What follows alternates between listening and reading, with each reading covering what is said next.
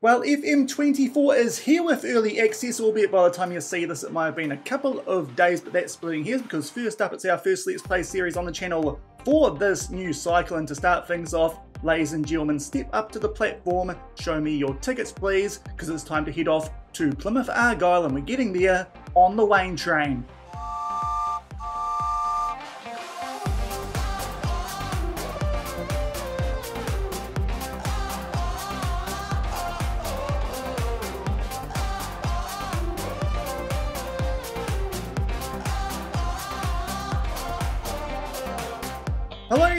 Welcome to the first episode of the Waine Train here on Shaun Does FM for FM24. I hope you're doing well and coming up today. We'll show you guys the premise of the save and also play our first game of the series as well in the championship where we do take on Huddersfield. Hopefully we can get off to a good start there despite the fact that we are going to be one of the favourites to go back down to League One, which of course Plymouth Argyle did come up from in real life last season. So looking forward to the new save here on the channel as well as all the FM24 content that I will put out for you guys this year. And do remember to go down below, leave a thumbs up, on the video and if you haven't done so already and are looking forward to that content then also consider hitting that subscribe button and turning that notification bell on as well. It is greatly appreciated. We start off with the club info for us here at Plymouth Argyle. We take over from Steven Schumacher. I'm pretty sure that no Plymouth Argyle fans actually want this to happen, but it is going to happen because we are going to do things this year on FM24 with a little bit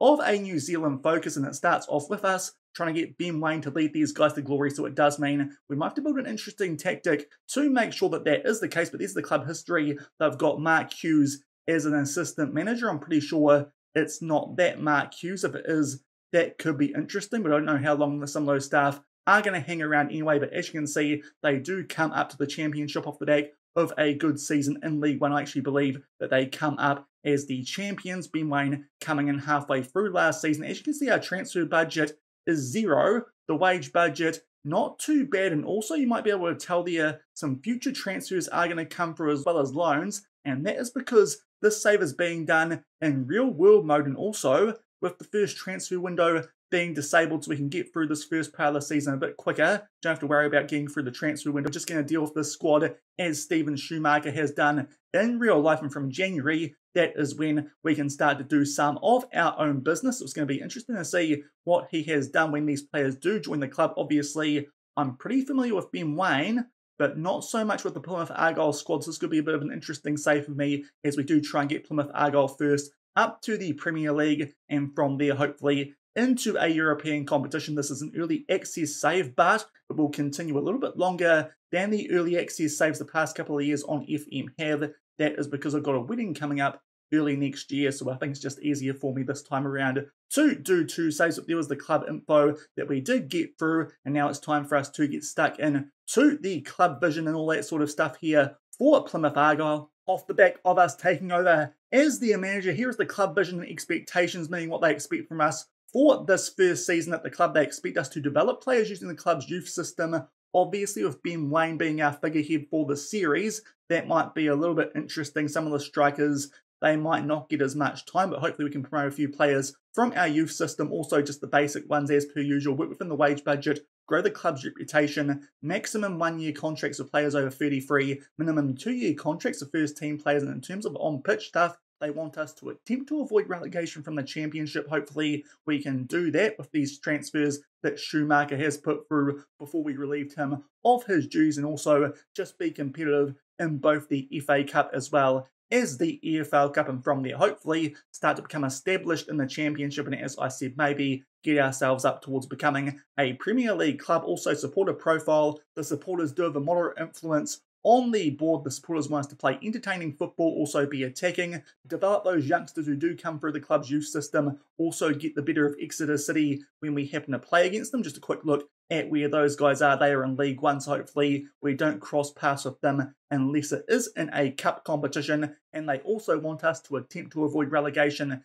in the championship. So to be fair, expectations not too big on us for this first season. Hopefully, that does mean that we can just make sure that we're not in any danger of getting sacked here at Plymouth Argyle. But obviously, the save is based around one man, in particular, the fellow New Zealander. And that, if we skip over the squad introduction and already looking at this, it's a pretty thin squad, so hopefully there's a fair few transfers coming through, especially with those injuries. Already there's five of them. They are red ones, and some of them do mean players will be out for a couple of months. And I'm starting to wonder if disabling the first transfer window was such a good idea, but our main man for the save, he's only got three star potential. Hopefully, he can just go a bit better than that. And it is Ben Waine. He will lead the line for us here at Plymouth Argyle. So it does mean that maybe to get the most of our squad here at Plymouth Argyle, we're going to have to use a bit of a different tactic to what you usually would see with this Plymouth Argyle team. But Ben Waine will be our main man throughout the save. He will start as many games as physically possible and hopefully lead us to glory, as I said, not just in domestic competitions, but also potentially in a couple of seasons' time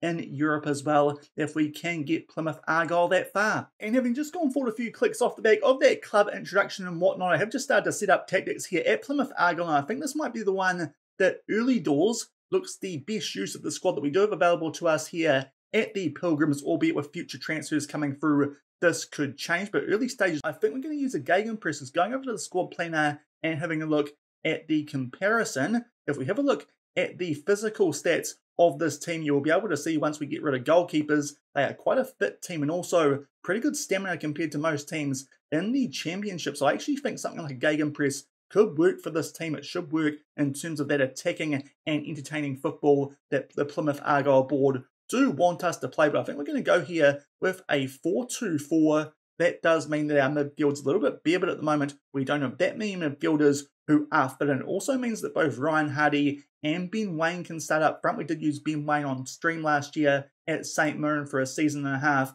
as a pressing forward, and he was absolutely brilliant in that role. So it does mean that he can go back into this role here, and we know that is a role that he can perform well in. But I think the first tactic we're going to use in the safe potentially might be a 4-2-4, but obviously with a lot of players injured, this could change going to the first game of today's episode, the first one of the competitive season against Huddersfield in the championship. But I think early doors, we might try and get the squad going to a 4-2-4, but at least in a Gegenpress style with that positive mindset. So hopefully we can tick off some of those board objectives. And in terms of those transfers that are about to come and obviously no transfer budget remaining. So it did actually mean even if we did enable this first transfer window, we might not have been able to do too much, albeit still £63,000 left of wage budget, but quite a few transfers still would come in. Conor Hazard, a goalkeeper coming in from Celtic in only about a week or so's time. Also a defender in Bali Mumba at left back from Norwich. A lot of midfielders coming in, so maybe we need to up that midfielder quota from the two that we currently have. That could be something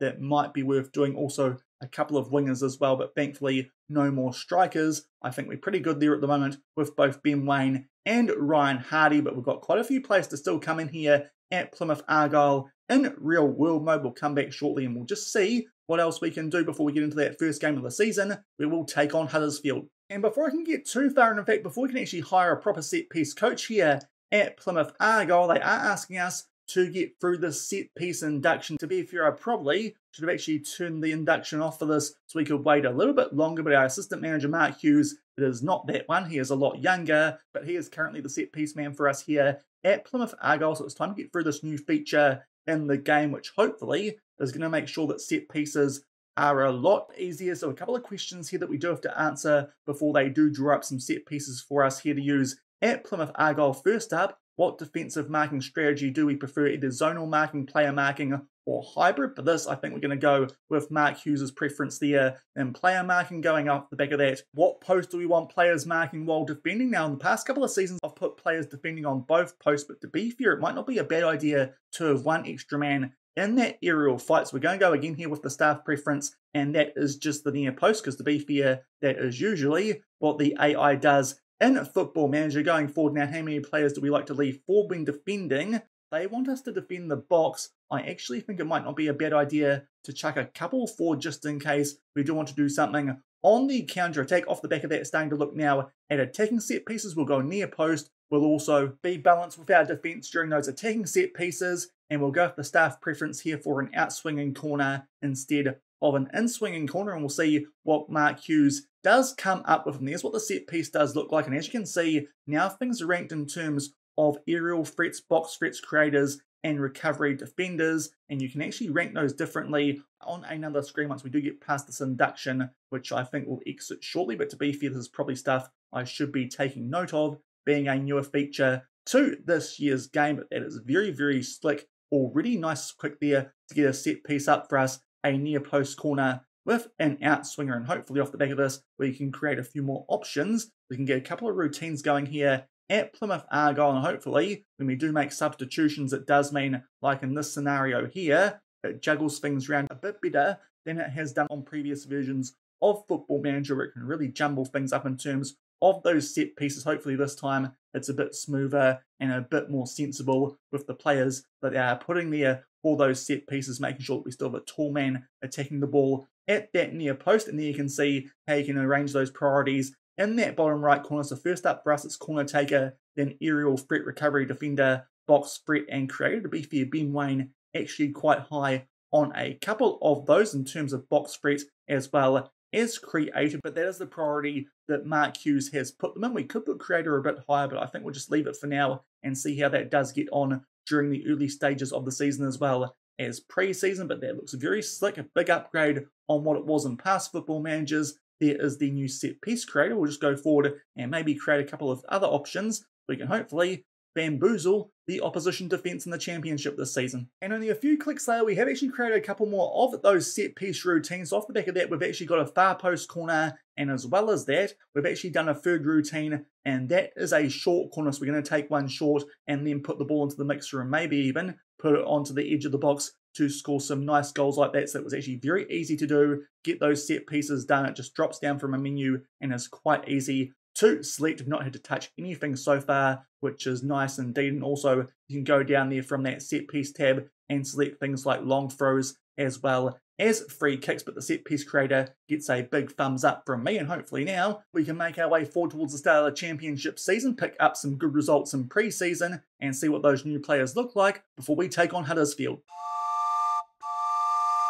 And going forward about a month off the back of those set pieces coming and also doing a big staff overhaul to Beef, we've actually just changed our set piece coach, but for now, they're actually quite happy with our set pieces. I think I'm going to get one chance to create those set pieces, so we might see how that goes. That does seem a little bit weird off the back of hiring a new set piece coach, but they don't ask you to redo that. But there you can see our staff now at Plymouth Argyle are pretty good, albeit somehow we've ended up with one extra performance analyst somehow, but the staff here are now pretty good, and we've got a pretty decent team now in terms of numbers compared to what it was at the start of the season, going into our first game in the championship and at home as well against the team in Huddersfield that did struggle in the championship last season. I am hopeful we can pick up a result on this opening match day, and this is a team that we are going with for this first game of the season, albeit once players do come back from injuries, that will change. In particular, in goal, Mike Cooper, definitely the first choice here, usually at Plymouth Argyle. And for us, is going to be the vice captain with that three and a half star current ability, but unfortunately,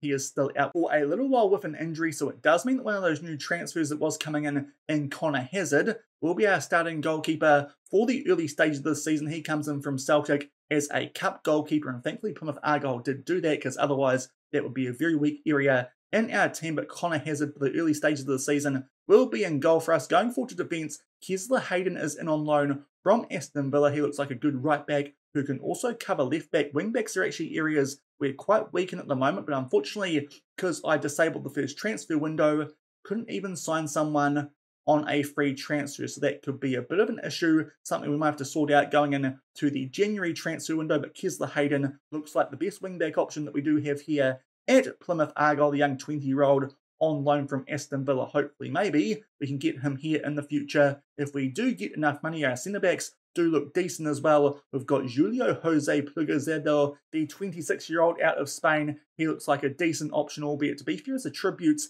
are all in the yellow. Nothing that stands out too much, but he looks like a decent player with three and a half star current ability and potential coming over from FC Twente for the start of this championship campaign for Plymouth Argyle alongside him in a ball playing defender role. It will be Lewis Gibson, the 23 year old who does have quite a bit of potential. And out at left back, one of our new signings, Bali Mumba, will stay as the left back. That is because, as I said before, quite light on numbers and the wingback position here at Plymouth Argyle, especially at the moment with some of those injuries that we are dealing with. To be fair, I think this guy might be a bit more of an attacking threat. Our wingback is on to defend with the Gegenpress style that we are using, but he's a very good player. Comes in for £1 million from Norwich after being at the club on loan last season down in League One. So hopefully he can do a decent job for us at left back, especially while players like Saxon Earley in particular, as well as Galloway and Gillespie are all out with those injuries. So as I said, left back at the moment, a little bit of a problem area as is right back in terms of overall numbers. In terms of the midfield, as you can actually see, something I did forget to mention, have now switched to a 4-2-3-1 Gegenpress. So it's the very traditional football manager style. That is because with some of those transfers that Schumacher did do with real world mode, quite a few of those were attacking midfielders. So it did feel like maybe having three attacking midfielders would be a good idea. So we've now gone to that free midfield system instead of having two up front. So it does mean now that Ben Waine is our lone main man up front with Ryan Hardie behind him on the bench, but Adam Randell is our balling midfielder for the first game of the season. Three star current ability, three and a half star potential. He looks like a decent player. And in the DLP role, actually a player that we used, I believe, at Cardiff last year on our save and FMOE, and that is Lewis Warrington. He comes here on loan from Everton. Interesting to see he's got a bit of a target there. That's not set from us, I believe, but I think that might be from Everton, and that might just mean if he gets that, he might get a look in there at the Premier League club or maybe by then even Championship club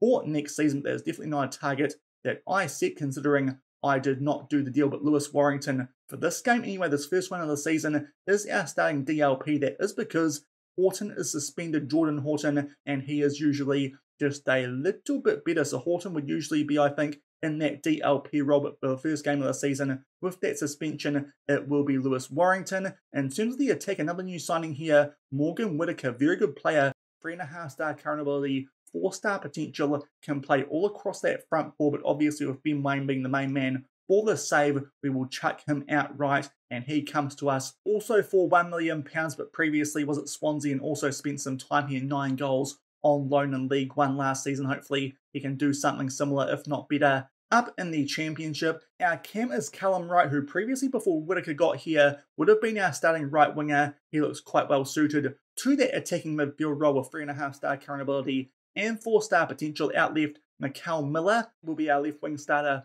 for the first part of the season, albeit that could change once a few more of those left backs do come back. Maybe we could even chuck someone like Mumba further forward because he does look like he has the highest star rating of the team in that left wing role, but unfortunately, with that current situation at left back, Miller will be the first choice option there for the early stages of the season. Obviously, Ben Waine, he will be the focal point of the save, always up front, even though he's only got two and a half star current ability and potential. Hopefully, he can perform a little bit better than that. Interesting to see he's already wanted by Perth and Macarthur FC in the A League on loan. No chance that that is happening, especially with this transfer window being disabled. And our bench, we've got Callum Burton as the current backup goalkeeper, albeit that won't be for too long once we do get Cooper back from his injury. Joe Edwards as a right back backup, it can also cover left back if needed. We've got Dan Scarr as a backup left back. There's a couple of left back options in this team, and to be fair, he's quite a decent one with three star current ability and potential, and also looks like quite a good aerial threat as well. So might actually work his way into the first team if he does some decent stuff for us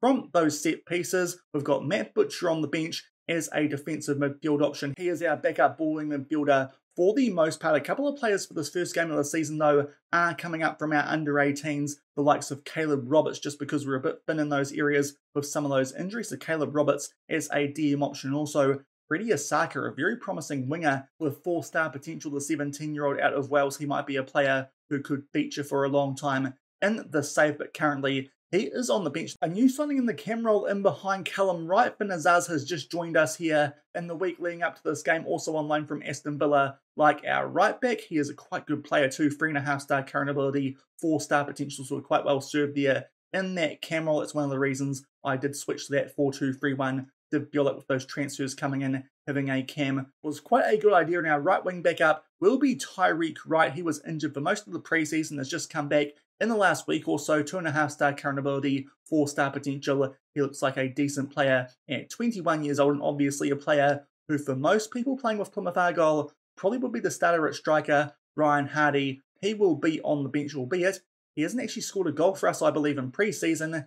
and he also missed a penalty. So Ben Waine is now a penalty taker because it's the Waine train, obviously. So that's our team going into this season. As I said, still a few players out with injuries who can make their way into this team, especially those ones who are covering left back from the likes of Saxon, Earley Galloway, and Gillespie, as well as that. Houghton would usually stay in the DLP and Cooper in goal. And also, still a few players yet to come here and a couple of attacking options who will join us a bit later on. Off the back of this game, Luke Cundle will come here on loan from Wolves yet again an attacking midfielder option. So we're going to be quite strong there in that central attacking midfielder. It might actually mean that Callum Wright can go back to being a cover on the wing. And also Mustapha Bundu will come here from Anderlecht right on transfer deadline day, a wing option who can also cover striker. But to be fair, I think he'll be one of the better players at the club when he does get there. Just having a quick look at those attributes for the 26 year old who is out of Sierra Leone. So that's what those transfers that have been going through have done for us going to the start of the championship season. As you can see, our wage budget has actually decreased. So even if we did want to make a transfer, not too sure how much we could have done, but hopefully that does mean we're in a good position now to at least pick up points on this opening day of the championship season. Having a quick look at the season preview, we are all the way down in 24th. The favourites to go straight back down. Hopefully, we overperform that a little bit. If we don't, we'll need to deal with that when we do get in to the January transfer window. But first up, we take on a team predicted to finish 22nd last year in the championship in real life. They did come 18th and that was Huddersfield Town at home. As I said, I like to think this is a game we can pick up some big points from, and hopefully Ben Waine can continue what has been a pretty decent preseason for him. We'll just change this to make sure that the view does have the goal scorers in, but as you can see, he's been doing a pretty good job. Actually, I tell a lie earlier, Ryan Hardie did get a couple of goals in that game. That we did take on Wycombe Wanderers, but the big news, we come through pre-season undefeated. To be fair, most of those games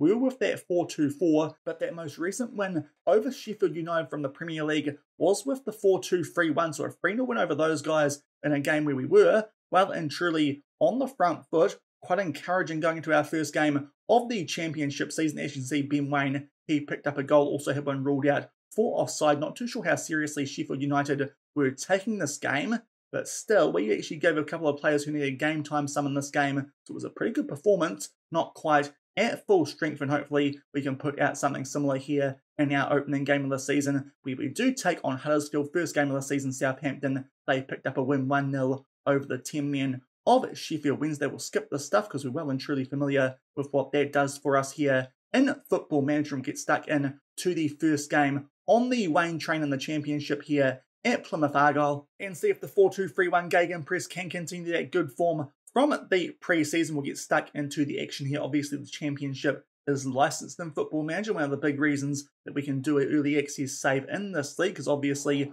all the uniforms and logos are included and it's quite slick looking. But there are the teams as ran through before. We're on the left hand side, Huddersfield Town on the right hand side. As I said, hopefully this is a game that we can pick up some points from, and if not, hopefully at least Ben Waine can get on the score sheet and he can just give us a bit of encouragement for the remainder of the save time to pump him up and thankfully he seems just a little bit happier. Hopefully he can chew, chew, chew along and score a few goals for us here at Plymouth Argyle, but there is our team as ran through before, the lovely championship graphics and also the new match engine. There's quite a bit of stuff happening here in FM24 that is new. There's quite a bit of player movement that is different. Also a couple of new roles, albeit we're not using any of those, but hopefully we see a bit of it here in this first game of the season. Also, if you watch my content from last season, I am going to stick this time with director view, albeit if they keep showing shots like that, not too sure how long it will last because that was a pretty awful one for the first that we did see for the but it's time to get stuck into the action. Our home opener, unfortunately, Huddersfield did get the first shot off, and so far, position-wise, are on the front foot here. But we're starting to get back on top of them here, heading up towards the 15-minute mark. As something might be about to happen, as we just make sure that we can get out of this tutorial as we're quite familiar with the game. But here's our first highlight, is a set piece. Randell puts that one into the mixer. They head it away, but Mumba will spread that one back out now right on the edge of the box. Ball pass it to Miller, but they it away to Huddersfield, and thankfully Kesler Hayden is there to tidy things up. Can the Waine train open the scoring for us in the championship season? We keep the ball there just down that left hand side. They float this one to the mixer for Waine, and he does score the first goal of the season. It's a bit of a messy one, but the Waine train is underway here at Plymouth Argyle. It's only taken 14 minutes, gets a little bit of help there from the underside of the crossbar. Thankfully, we just do enough here to keep that ball down the left hand side. Rhodes makes a real pest of himself, but thankfully Mumba puts that one into the mix of Ben Waine,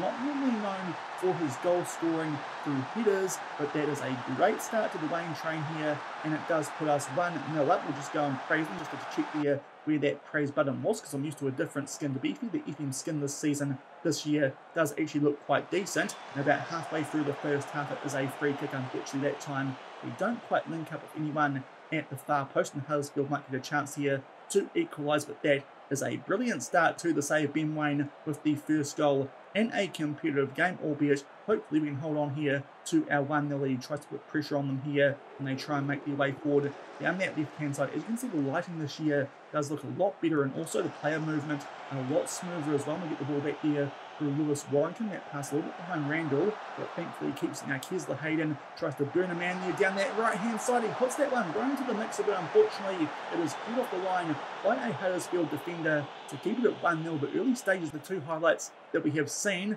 we are on the front foot in this game. Hopefully we can make it 2 0 sooner rather than later. Randell again can't quite pick anyone out at that near post. Again looking to Waine that time far, unfortunately doesn't get his head on the end of that one. It stays 1 0 coming up to the half hour mark, but off the back of a little bit of a shaky start. Well and truly now on the front foot. Now a long throw. We're going to try those this year. Apparently they are quite OP. We keep the ball off the back of that. And now the Hayden again. Booms his man down that right hand side. That could be a big weapon for us. Takes on a shot, and it's a decent effort there. And also just noticing I've still got the game sounds on. So we might just deal with that before we get stuck into anything else here. If I can, can we get rid of the game sounds we can. So we'll just make sure that that's not going to play over the top of my voice. Hopefully that wasn't too much of an issue, but we're not going to replay this with a 1-0 lead. A corner, that time it was our centre back from Spain who gets his head on the end of that one, but unfortunately good save there from the Huddersfield goalkeeper, but it's better say we're well and truly on top in this championship season. Opening off the back of that, we take a short corner this time. We go for Miller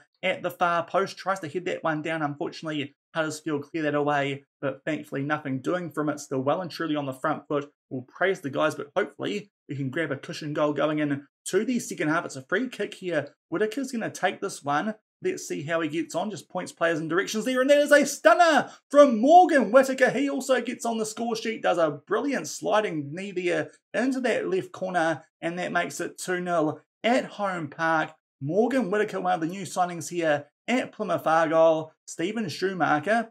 Thank you, because that is a wonderful free kick to put us 2 0 up just before halftime. And so far, things going pretty well for the newly promoted team here in Plymouth Argyle. 2 0, and based on stats, it's fair to say that is a well deserved scoreline. Ben Waine with the opening goal, which is brilliant, off a Mumba assist, and then Morgan Whittaker with that wonderful free kick. So far, everyone out there on a good ranking, so I don't think we need to make any substitutions going in to that second half. So we'll tell the guys that we're pretty happy with what's gone on so far. Hopefully, it does continue. We're a bit weary of praising them too much, but hopefully, that doesn't backfire everyone. Pretty happy going into the start of the second half, and hopefully, we might be able to kick on here and boost up our goal differential nice and early in the championship season, especially with some tough games coming up against the likes of Watford and Southampton off the back of our first game in the EFL Carabao Energy Drink Cup. This has been a pretty good start to life here at Plymouth Argyle, the 4 2 3 1 working as per usual. First highlight of the second half, and it is Huddersfield trying to play out from the back. Good slide tackle there from Miller, and we start to swamp for Whittaker. But fortunate to keep that ball now right with a shot. Forces a good save there out of Nicholls. Looking for that bottom right corner. It goes into the stands. It's fair to say the graphics on this year's game I think look a bit better. It might have more to do with the lighting, but also that smoother player movement. It does look like a pretty different game to FM23, which is quite nice. And coming up to the hour mark, it is still 2 0. We'll just check in here on some player fitness and see if we need to make any substitutions. But everyone at the moment is in pretty good nick, albeit Callum Wright not doing that well. And we do have a cup game in only a couple of days' time, so we'll bring on Finn Azaz in his place. Also, Mickel Miller not going that well. We might give the youngster Freddie Issaka some game time here out on the left wing as well. But apart from that, everyone else out there is on a pretty good rating, and we'll get into this last half hour still with a 2 0 lead. Now, a corner. Whittaker puts this one towards the near post. Gibson wins the race to that. Now, Randell with a shot from outside the box. It's an absolute screamer. Top right corner just curves that one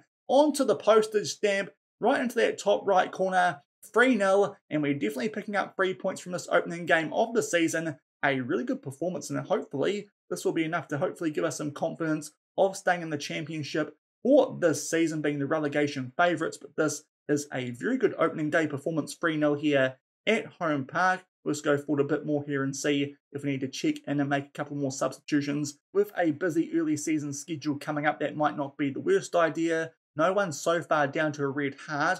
We might actually take off Kesler Hayden, seeing as he is on a 6.9. Everyone else out there is on a green rating, so Joe Edwards can come on for him. We might also make a couple more subs in a couple of minutes' time as well, just to make sure some players do get a rating. But before that can happen, another corner. It looks like this time we're going to take this one short. Whittaker picks out Azaz, his first start for the club, having only come in in this past week. And it's a good chance there for Asaka to get on the score sheet, but unfortunately that shot takes a big deflection from a Huddersfield player. But things going very well for us here on the opening day of the season at the Pilgrims. Again, we try and pick out someone near post. Doesn't actually look like that's working too well. We do win a foul off the back of that. Lees, he picks up a yellow card, and shortly off the back of that, it's a corner on the other side. It's headed away there by Nakayama, but Helik's put his hands there on Edwards, and a chance here for Ben Waine to pick up a double from the penalty spot. He might actually get a chance here to make it a hat trick. If he can put this one away, and he does, he sends the goalkeeper the wrong way.